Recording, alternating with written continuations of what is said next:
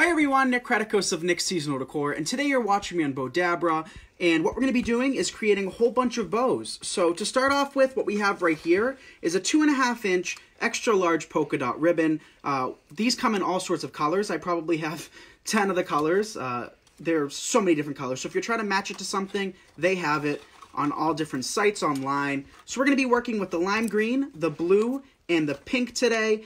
And let me just pull up the comments so I'm able to follow along with you guys. Okay, so we're going to start off with three of them. You could do as many as you would like. Uh, it's totally up to you and what you feel like doing. So let me just quickly find the comments. There we go. So we're going to be dealing with these three colors. What we're going to start off with is the wire. So this is Bowdabra wire. It comes in a 100-yard spool, uh, so it's going to last a very long time. We're going to cut off a length. I always recommend cutting off a longer length than you anticipate on needing, just in case you need to attach it to something longer or bigger. So we're going to take our wire, and on the top of our Bowdabra, you can see that there's a little uh, opening. We're going to take that wire and just simply place it right into that opening of our Bowdabra. Like that. Take our wires and place them underneath. Just like this. Then we're going to take one of our colors. And you can have these pre-cut, or you can do what we're doing today, uh, where we're just eyeballing it. We're going to take a length about 6 to 8 inches long, pinch it, and place it into our Bowdabra. Notice, notice what I did is I completely reversed it. So 180 degrees, I twisted the ribbon so that the non-printed side is um, facing up. That way when we gather it, and I like to twist my Bowdabra. When we gather it, the, printy, uh, the printed side is revealed, and then we can just place it inside like this. And then we're going to cut it off. So as you guys come in, let me know where you're watching from. Uh, my older sister, Alex, as many of you guys know, is recording for me today, so be sure to say hi to her. Hello, everyone. And if you have any comments or questions during this video, I will be more than happy to answer them for you. So again, take your ribbon, pinch it, and place it inside. So the most important part when making bows like this is to try to make sure that the, uh, the loop size is the same. Tail size doesn't really make a huge difference, but it'll show if your loops are a little bit off. Not like it's a big deal, uh, but if you're trying to make a perfect, perfect bow, try to make uh, more focus on the loops rather than the tails. And then we can cut it off like that. So we're going to come back in with our pink one now. And just alternate. So you can do as many loops as you want. I typically recommend at least two of each color. Uh, but of course, if you only have a few pieces, as you can see, it's already pretty, working in just three colors, uh, one piece each. And this bow is probably the best for um, scrap pieces. So as you can see, we only have maybe a yard left of this, a yard and a half, two yards max. So if you have rolls where you only have a partial roll, this is the perfect bow for it. So we've got some people watching today. We have Edna, Patsy, Valerie from Middleborough. We Welcome, Middleborough. Lehan from Mississippi. Hi, Anne. Welcome. So now we're going to repeat the process. We started off with our blue, so we'll just continue with that. Now we're going to begin adding our green.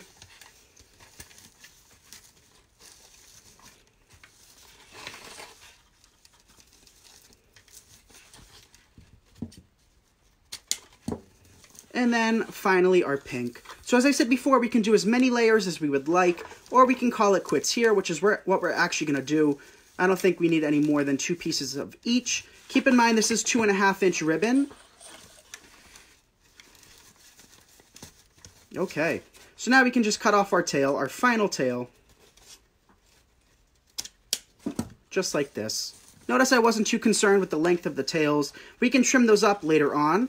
Keep in mind, it's always better to have more ribbon than less. Uh, it's easier to take away than it is to add to the ribbon. Uh, so you might be kind of trashing a few pieces or cutting a little bit off, and that's totally fine, you guys. You're better off doing that when you start off than uh, not having enough ribbon. So now we're just going to take our Bowdabra wire, take one of the pieces, wrap it around the bow, and then secure it like that with a little knot. So here we have our bow. Doesn't look good at all, but we're going to be able to fix that. So to start off with, what I like to do is, is what, Alex? Dovetail. Dovetail. There we go. Every time I say that, I think of the theme song for DuckTales. I don't know if you remember that. Um, but that's what I think of. So we're just going to take our ribbon, fold them in half, and cut from the middle out towards the wired edge. And what happens when you do that is you get a nice dovetail, and it creates a professional looking end for your ribbons. And I highly suggest you do this. Uh, for this ribbon, a dovetail would look best, but for other ribbons, sometimes I do just uh, an angled cut rather than kind of a blunt cut like this, so we can cut them at an angle. But for this, we are going to want a dovetail just to make it look a little nicer, a little bit cleaner.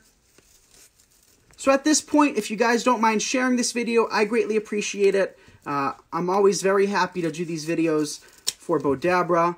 Uh, and just going forth, just as a reminder, I will be live the first Monday of every month and that definitely changes from month to month, so I can't give you the exact days, but they are posted on the Bowdabra page in case you're interested in seeing when we go live. So here we have our bow all, all dovetailed. Our next step is going to be fluffing, so we're going to just pull our tails apart every which way. And always keep in mind that your bows look best once they're attached to their final uh, place, and then you're going to come back and do a final fluff once it's secured to its final location.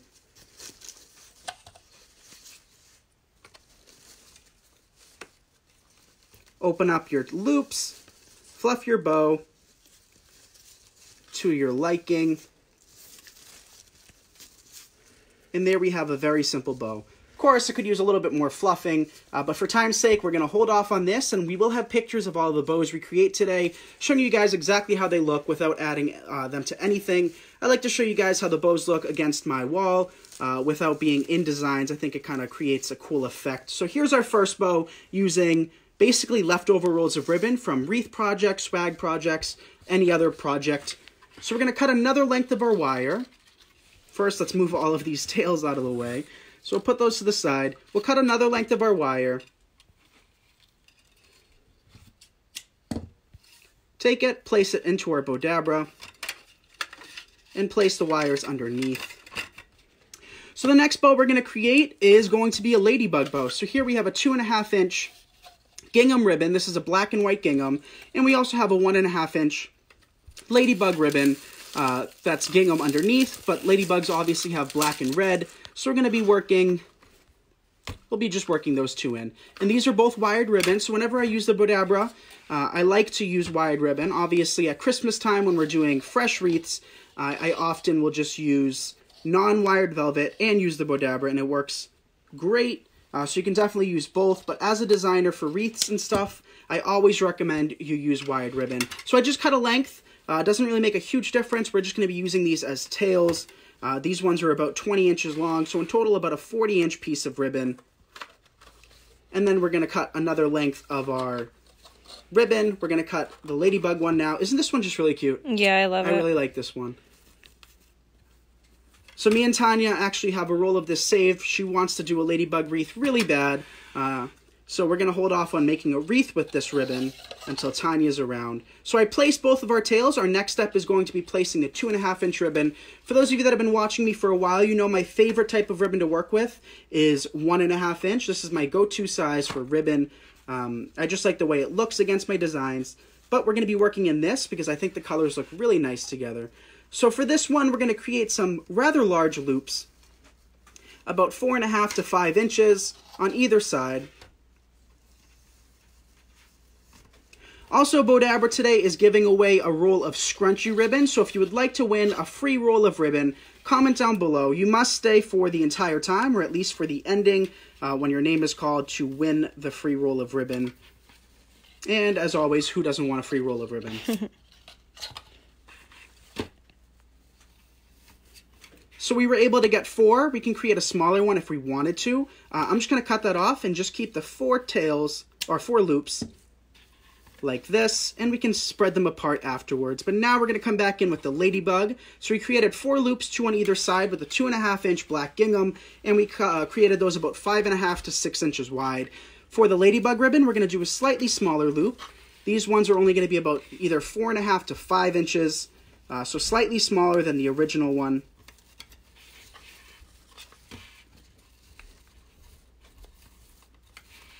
And we'll do five at least. Maybe we'll do three on either side. You know what? We'll do three on either side and then one in the middle. And the one in the middle is going to be slightly smaller.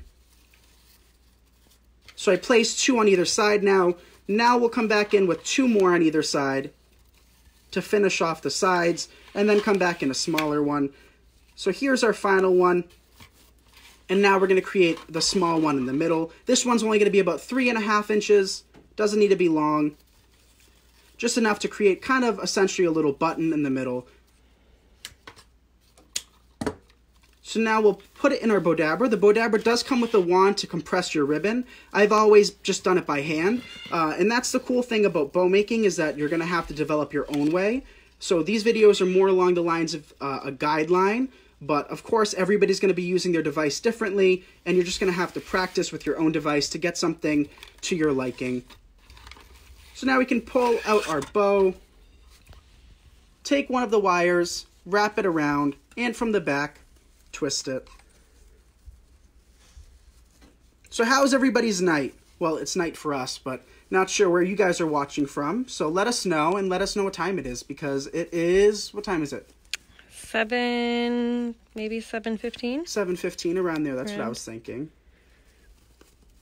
So now we're just fluffing open our bow. And here's a little bow, uh, or little, little loop in the middle. So we can just compress that to kind of finish off our bow so you don't see any of the wires. Open up the two loops on the side. This is probably going to be my favorite bow of the night. I really like this Ladybug ribbon. Pull our tails down. And if you guys hear crinkling, it's because we have so many plastic bags full of supplies around us. Uh, I kind of go a little crazy shopping sometimes, as you guys know. Uh, so that's what you hear when you hear kind of like a crinkling sound. Plastic bags underneath our feet, underneath the table, everywhere. Give some hearts if you guys love that. I think that's really pretty. So pretty. That's probably my favorite bow we've made. If I do say so myself. so here's um, a two and a half inch ribbon, one and a half inch ribbon. We created four loops of the larger one simply because we only had enough to create four loops. And then we created three loops on either side of the ladybug, one and a half inch, and a small three and a half inch loop in the middle with some tails. I love this. Give some hearts if you do. Let us know. Let's create another bow. We're going to create a patriotic bow because lately I've been on a patriotic kick and I love the colors together. So that's what we're going to be making. Again, cut a length of wire. We have Tracy from Ohio watching, Jatan from Texas, Philip from Kentucky. Welcome. Sherry from Canada. Sherry Hi. from Canada. Awesome. Thank you guys for watching. Okay, so here are three ribbons. I offered these for sale last year and they sold in one day. So hopefully we're going to be able to bring some more of these back. Uh, I love the quality of them. As I said in other videos, sometimes the gingham, if you purchase it in large, uh, larger amounts, it's not good quality. That is not the case for this. This is a 50 yard spool and it's great quality ribbon. So we have the gingham. We also have this canvas chevron. You probably have no idea what I'm talking about when I say like the names of the types of ribbon. Uh, so we have this one and a half inch and then another two and a half inch, uh, one and a half inch, kind of a royal blue. So let's create a bow. So what we're going to do is we're actually going to take our ribbon, drop it to the floor to make it a little bit easier for us. Grab some of the ribbon. And what we can do is we can create a tail if we want.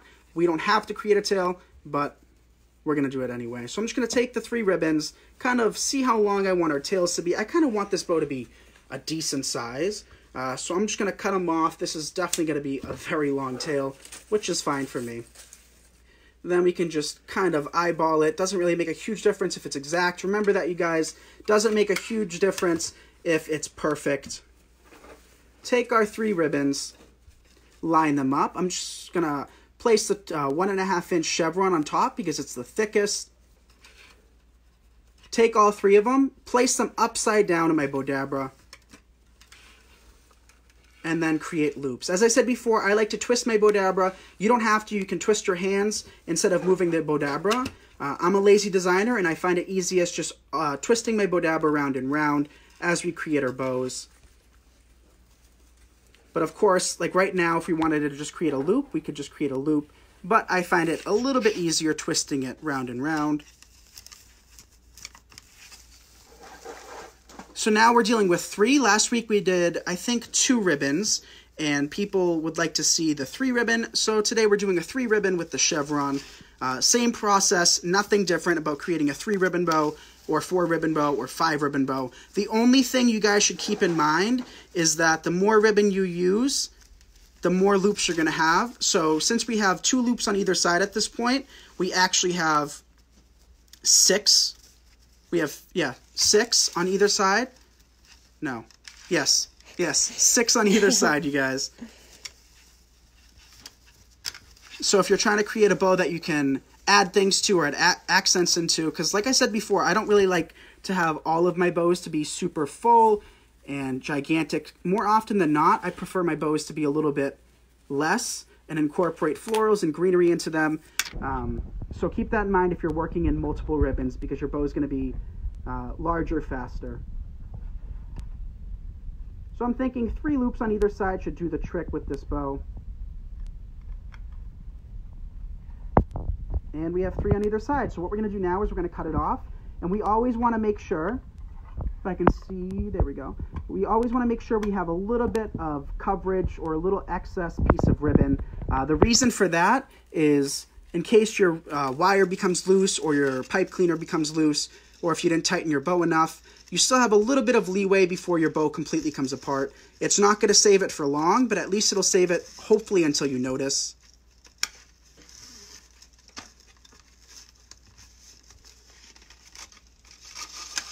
Okay.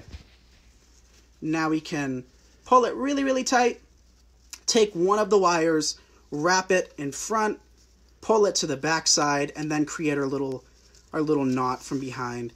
And I also make sure to knot it a couple times. That way our bow doesn't come loose at all. And then what we can do is separate the loops. So I'm just pulling them apart. And sometimes I like my ribbons, if this was two different uh, sizes, sometimes I actually just leave the ribbon on top of each other like this. Sometimes it creates a cool effect. Of course, the choice is ultimately up to you. In this case, you definitely would want to remove or separate the loops because uh, the ribbons are all the same width and you wouldn't be able to see all three ribbons. So we'll just continue opening up our loops, pulling them apart. And we have one left. So now we can fluff, we can pull our tails down first of all, and we can cut those and dovetail them and curl them later on if we decide to do that. There's so many different ways to create bows, so many different ways to add bows into your designs. Uh, what you see here is not the only type of way to make bows using the Bowdabra. There's so many different ways, and if somebody tells you this is a specific way to make a bow, they're wrong. Uh, if it looks good and you've uh, created a beautiful bow. It doesn't really matter how you got there as long as the outcome is good. So just keep that in mind. So we'll just fluff it, fluff it, open up our loops, get any of the kinks out. And here we have a festive, patriotic, you guys hear the plastic bags now, uh, a festive, patriotic bow that you could add to a lantern, a lamppost outside, a mailbox, a fireplace, a mantle. Um, above the fireplace, you could even add this on your fireplace if you don't use it like us your staircase, a wreath, and I think I listed everything. A teardrop swag everywhere. So that's our third bow. How are we doing on time? About 10 minutes. 10 minutes. All right, so let's create. Wow, we're working fast today. Creating some of my favorite bows too. So now we'll create one using a four inch ribbon, which I don't think we've done before. This is another gingham because we've just seemed to really like gingham lately. Uh-oh. Got tape stuck to me. So then we'll also come back in with a two and a half inch. And more often than not, you'll see me matching my prints. Uh, and if I work in another color, I often will just use a solid. So here we just have a very thick, solid one and a half inch ribbon. Um, so more than off, more often, I'll just I like to stick to a few patterns. It typically looks best, in my opinion, than having you know six, seven different prints. Of course, if that's the style you like, by all means, you could add more and more ribbons. So I'll cut some tails off using the four inch ribbon. You could even use this as a tablecloth for a very that small is table. thick ribbon. Yeah, that is a, a lot of ribbon. So we'll place that into our Bowdabra. We'll cut another length of the two and a half inch. And we'll kind of do what I think people call a three to one bow in this. Uh, I don't know if we'll be able to do all three loops for um, the red ribbon because it's such a thick ribbon, but we'll see. Maybe we'll just do two. Two, two, one bow. How's that sound? so we're going to take our four inch ribbon, which is basically the size of the Bowdabra, it's so big, and create our loops. No different. The only thing is, is that the ribbon's wider. It'll still do the same exact thing. We'll place one there, drop our ribbon to the floor. I'm actually thinking we might not even need the blue. I think these two colors look really nice together. Mm-hmm. You think so too? I think these look nice. So, you know what? We will probably do three loops on either side.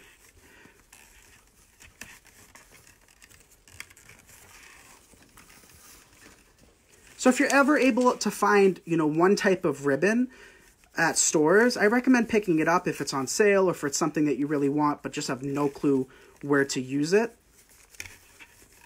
Because this ribbon's been sitting in my shop for two years now and I haven't used it and today we're using it. So, Oh, someone just mentioned you forgot the wire. oh, I did forget the wire. That's fine. That's fine. Typic if we're going to be honest, off camera, I actually don't add the wire first, um, which is probably why I forgot it. Because I'm so used to creating them so fast and then essentially squeezing it in my hand and taking it out. So for the third loop, what we're actually doing is something a little bit smaller. Maybe we'll have this in the middle. We're just trying something new. But since this ribbon's so thick, you can essentially just plop it out like that, and it would be fine. But thanks for noticing that, because I wouldn't have until later on. So now let's create some loops using the two and a half inch. So as you can see, we're progressively getting smaller and smaller as we're adding loops.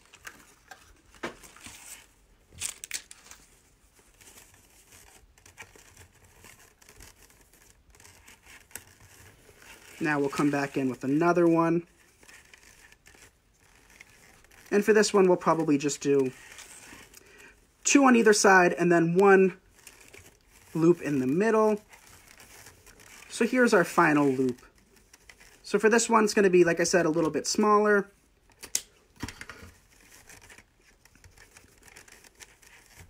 And now this is where it becomes important. What you're going to want to do is cut your wire first before you pull it out of the Bowdabra, or else you're going to run into issues of cutting it while holding your bow. So here we have our wire.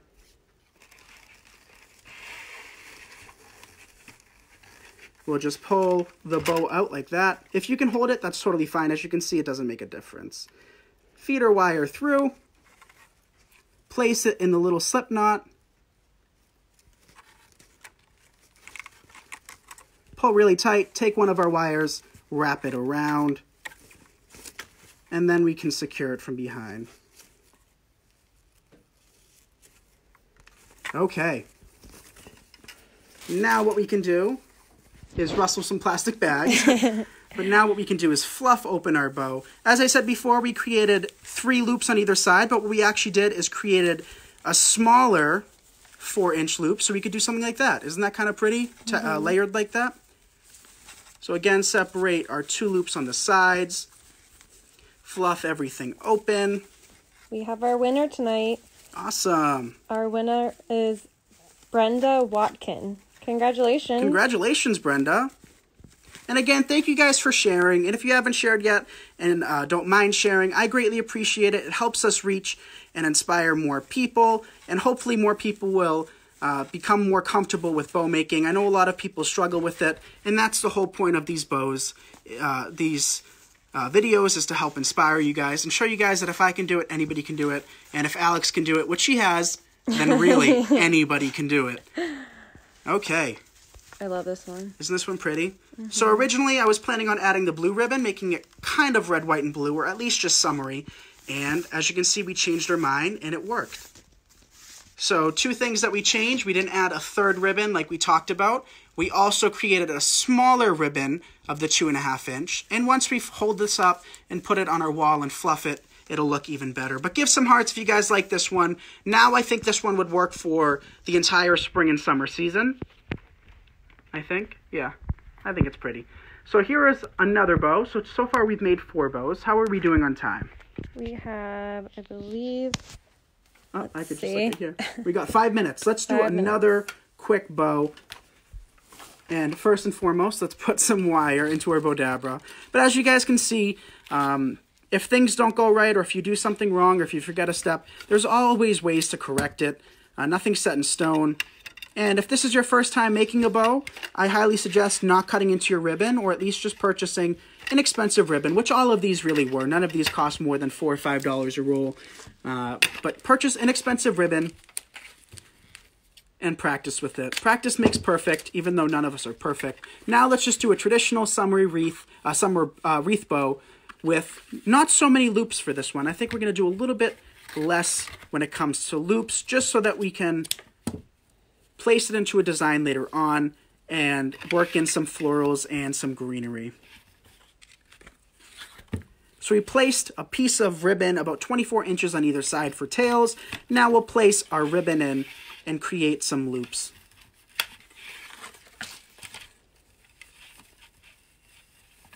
So I'm just creating loops actually a little bit longer than what we typically do. These are about five and a half, uh, about six inches long for these loops.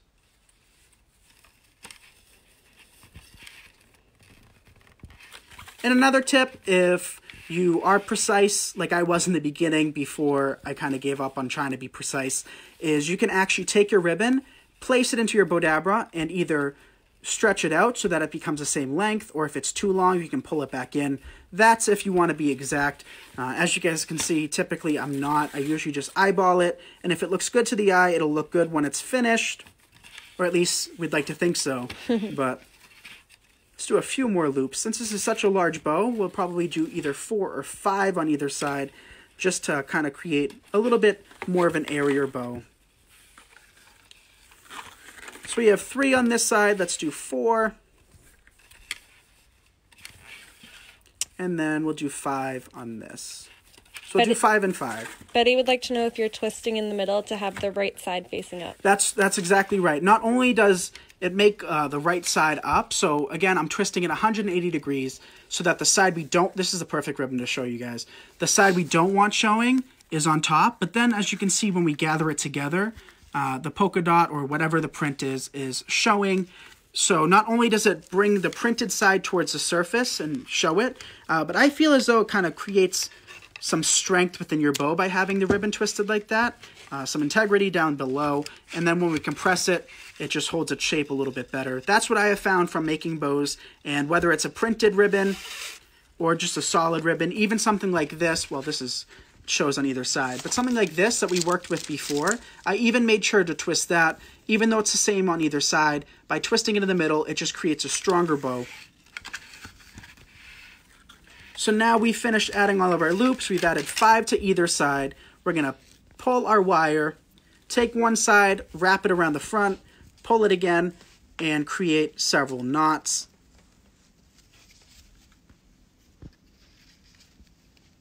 and I like to do three most of the time.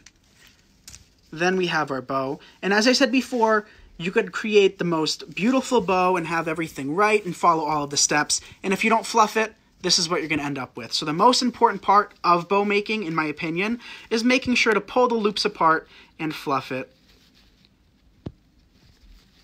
So a bow like this is the perfect bow to work in some florals and some greenery. It holds its shape, uh, you have lots of room to place things in. And then when, when we start creating more congested bows, like the patriotic one we created a little while ago, uh, it's it leaves less room for designing with when you place it on a wreath, which is fine. Sometimes we want a, a standout bow, but sometimes we like bows to be able to have greenery and florals.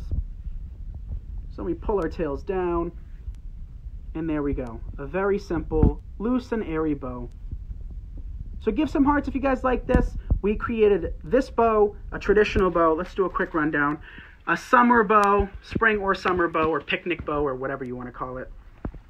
Right here, using four inch ribbon, one and a half, uh, two and a half inch ribbon, we created my favorite bow of the night, which is the ladybug bow, which hopefully you guys like it too. I think these look really nice. We also created another traditional bow with three ribbons for uh, the 4th of July or just patriotic bows in general. And then lastly, our funky bow, which is the perfect bow for using scrap ribbons, especially if you only have a yard or two of ribbon. Uh, so I hope you guys enjoy this. It's always a pleasure being on Bowdabra, and I'll see you all the first Monday of next month. So I want to thank Sandy for having me on Bowdabra today. Hopefully you guys learned something new, and hopefully I made it a little easier for you. And I'll see you all soon. Bye, everyone. Bye, guys.